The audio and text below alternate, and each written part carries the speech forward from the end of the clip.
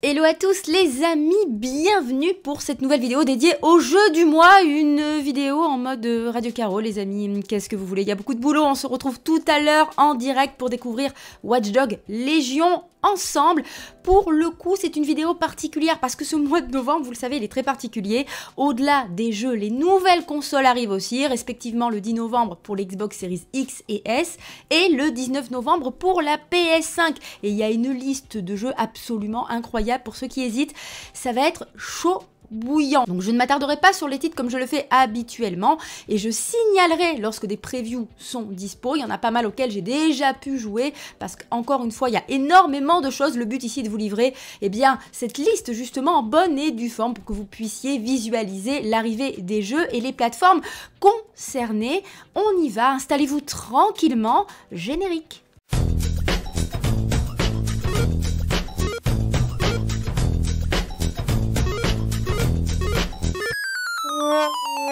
Thank you.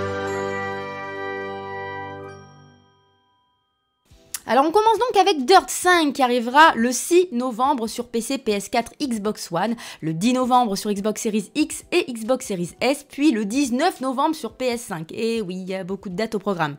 Je précise que j'ai déjà livré une preview du jeu sur PC et un aperçu sur Xbox Series X où je donne mon avis sur les modes dispo à ce jour pour cette démo que j'avais pu tester. Le mode Ultra Cross, une sorte de rallycross classique amélioré, Land Crush avec des courses tout terrain, Stampede, un mode qui fait la part au saut et sprint avec un circuit très court en forme ovale. Honnêtement, je m'étais régalé. Voilà. Et puis ce Dirt 5, il est très très très beau sur PC, un peu moins sur Xbox Series X pour le moment. Il va falloir attendre avant de se prendre la claque, mais en attendant sur PC, c'est très très beau. On a de très jolis environnements, très soignés, bénéficiant d'une très belle lumière avec la météo dynamique, ce qui crée une expérience vraiment fun et immersive où il s'agira de s'adapter aux conditions. Par exemple, quand on va rouler sur de la glace, sur de l'eau, la lumière qui peut venir vous gêner, la poussière envoyée par les autres véhicules qui passent près de vous.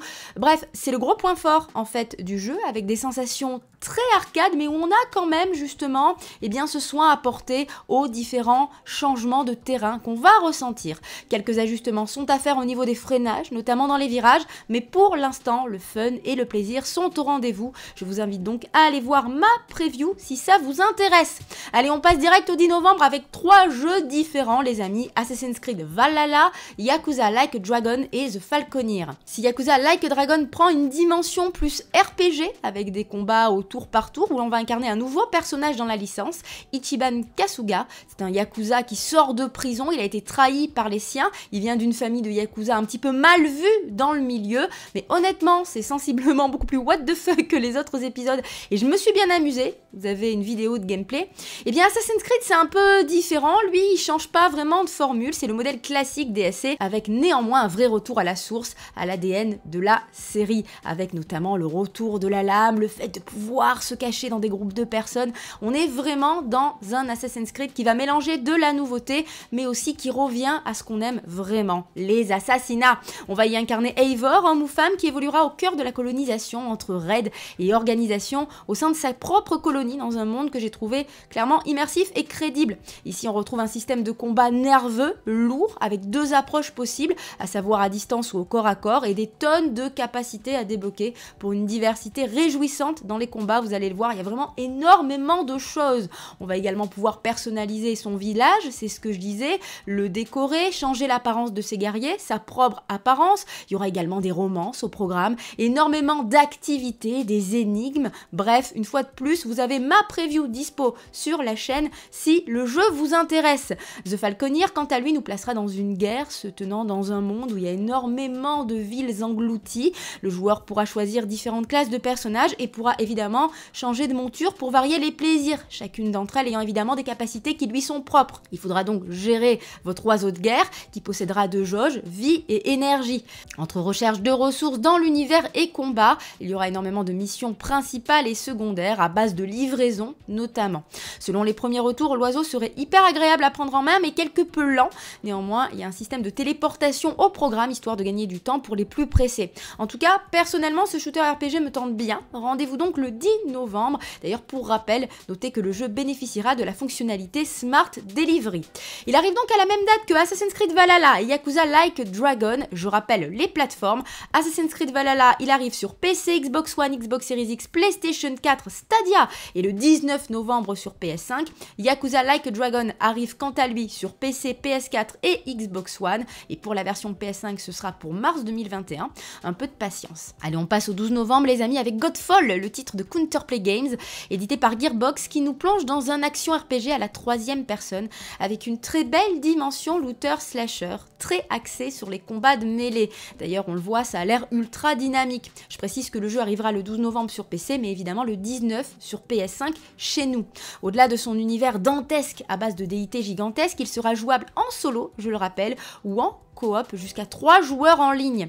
Les joueurs pourront donc décider d'incarner l'une des 5 classes proposées, ce sont des classes d'armes, et il évoluera à travers de nombreuses compétences, mais aussi et surtout évidemment à travers des équipements. Il y en aura à foison dans le jeu. Pour ceux qui aiment d'ailleurs Senseiya, notez que vous aurez à débloquer 12 Valorant, ce sont des armures qui sont basées sur les 12 signes du zodiaque. Le jeu a l'air en tout cas ultra nerveux et je rappelle que sur PS5, il bénéficiera des sensations apportées par la DualSense, le retour haptique, les gâchettes adaptatives, donc j'ai hâte de pouvoir le tester aussi sur PS5, mais néanmoins, je vous proposerai de mon côté le test sur PC pour que ça arrive plus vite. Allez, on passe au 13 novembre avec évidemment Call of Duty Black Ops Cold War, les amis, ce nouvel épisode qui va nous plonger dans l'univers sombre de la guerre froide au début des années 80. On va y rencontrer donc évidemment énormément de personnages historiques dans une campagne où on se retrouvera sur certaines missions confrontées à des choix. De plus, on pourra personnaliser euh, son héros, une première dans la série. Concernant le multijoueur, vous avez déjà ma preview la chaîne. On reste dans un gameplay classique, bien au sol, avec les modes classiques connus, élimination confirmée, match à mort par équipe, domination, mais aussi avec des nouveautés au programme, comme par exemple les modes armes combinées en 12 versus 12 ou équipe d'assaut, bombe sale, jouable jusqu'à 40 joueurs. Le zombie sera évidemment de la partie. Je vous proposerai donc le test du solo plus un petit passage sur le multi et le zombie dès que possible. D'ailleurs, à propos du mode zombie, notez que Onslaught sera jouable en exclu sur PS4 et PS5 jusqu'au 1er novembre 2021 et ensuite sur PC et Xbox Series X et S. Allez, on passe au 19 novembre. Attention, ça va faire mal là, puisque la PS5 arrive et avec elle de nombreuses exclusivités, plus Cyberpunk 2077. On commence par Cyberpunk. Concernant ce dernier, vous le savez, vous allez vous retrouver dans un monde ouvert de toute beauté, au cœur notamment de la ville de Night City, dans laquelle mille et une activités seront proposées. Mais vous allez surtout pouvoir décider en profondeur de ce que sera et qui sera exactement votre personnage. En effet, au-delà du sexe de V, donc le personnage, on pourra déterminer quel sera notre chemin de vie, ce qui va offrir des débuts d'histoire adaptés selon votre choix et des changements sur certains dialogues. Par exemple, un street kid, il n'aura pas les mêmes possibilités de dialogue qu'un corporate ou qu'un nomade. Les nomades, ce sont ceux qui habiteront dans le désert. Les street kids, bah, ils connaissent un petit peu tous les secrets, les bas-fonds de la ville, c'est un peu les racailles du jeu. Et corporate, c'est une classe un petit peu plus élégante. Ils auront donc des profils totalement différents. Au-delà de ça, évidemment, il y aura énormément de possibilités au niveau des armes, plein d'armes différentes, plein de véhicules différents, chacun de ces aspects ayant été très travaillé, la personnalisation évidemment aussi, c'est ce qu'on disait, on va avoir un choix vraiment très impressionnant. Donc si vous voulez plus d'infos, vous avez toutes les infos sur les Night City Wire sur la chaîne, n'hésitez pas à aller les voir, évidemment je vous proposerai le test en bonne et due forme, notez donc que le jeu sera disponible le 19 novembre prochain sur PC, PS4, Xbox One et Google Stadia.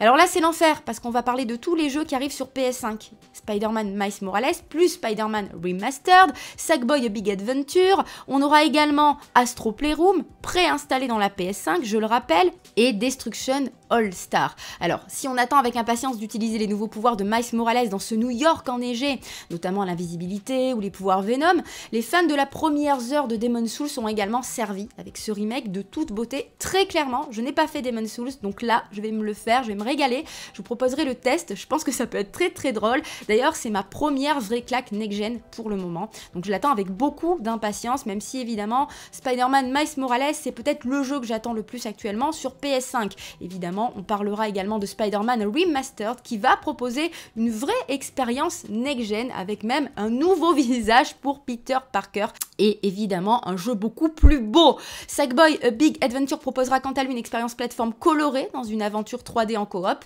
avec des niveaux assez uniques et des nouveaux pouvoirs, notamment l'un d'eux décrit ainsi, je cite, un pouvoir qui permet de littéralement renverser la situation en même temps que le monde. Ça, ça promet d'être relativement mignon. Autre cas mignon d'ailleurs et coloré, Astro Playroom, c'est ce que je disais, préinstallé dans la PS5 et qui va bénéficier des fonctions de la DualSense.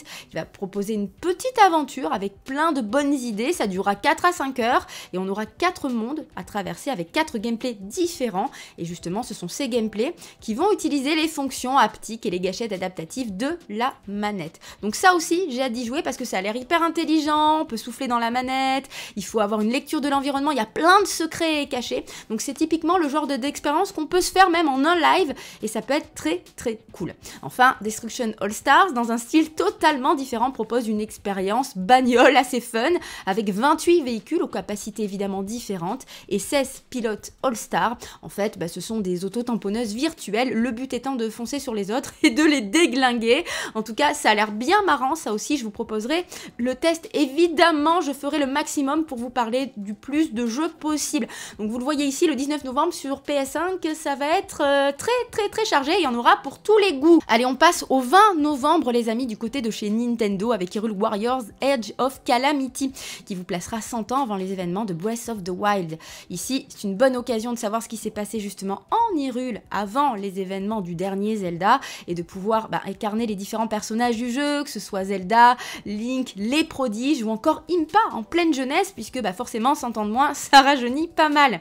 Alors, il faut savoir que le jeu ne sera pas un monde ouvert à proprement parler, puisqu'évidemment, vous connaissez le principe de ce type de jeu. On va évidemment évoluer par zone, mais la map sera là dans son entièreté, avec plein de points d'intérêt, des marchands aussi, et des zones où on va pouvoir s'entraîner. On pourrait d'ailleurs notamment s'entraîner au maniement de l'épée à deux mains. Belle nouveauté d'ailleurs par rapport à Breath of the Wild, les armes ne s'useront pas. Donc en attendant le deuxième épisode justement, il y a de quoi euh, eh bien patienter, et je trouve que ça sent plutôt bon, donc c'est clair que là, pour le coup, du côté de la Nintendo Switch, c'est le jeu que j'attends. Alors on aurait pu tout aussi bien citer DMC5, la spéciale édition, Bugsnax ou encore Just Dance évidemment. La liste est assez longue mais j'ai essayé d'être concise sur cette vidéo pour ne pas faire euh, eh une vidéo à rallonge et parler du plus de titres possible pour qu'il y en ait pour tous les goûts et que vous ayez une vision plus claire de ce qui arrive parce que c'est très très dense. Concernant les jeux gratuits de novembre, on devrait d'ailleurs avoir des nouvelles d'ici jours. Ce sera mercredi du côté de chez PlayStation. Du coup, évidemment, je vous tiens au courant. Voilà les amis, j'espère que c'est plus clair pour vous. J'espère que vous avez aimé cette vidéo. C'est un style différent. Je suis moins restée sur les jeux, mais au moins vous avez la liste avec quelques informations. Les previews concernant certains jeux sont d'ores et déjà disponibles sur la chaîne. Même par exemple Spider-Man Miles Morales, je n'y ai pas joué, mais vous avez toutes les informations sur le jeu si vous le souhaitez. Donc n'hésitez pas. Et surtout, si la vidéo vous a plu, le petit pouce bleu, pensez bien à vous abonner et à laisser des coms, comme d'hab. Je serai ravie d'en parler avec vous. Et on se retrouve dès 17h pour découvrir Watch Dog Légion. Je rappelle qu'il sort ce 29 novembre, les amis, sur toutes les plateformes. Et je suis en train de vous préparer le test, évidemment, également, hein, en bonne et due forme. En tout cas, merci d'avoir été avec moi. Je vous fais plein de bisous et à très très vite. Ciao, ciao